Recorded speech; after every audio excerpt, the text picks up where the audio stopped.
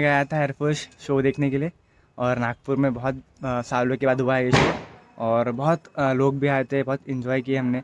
तो वीडियो को एंड तक देखना, आपको बहुत मज़ा आएगा और वीडियो को लाइक शेयर और सब्सक्राइब ज़रूर करना।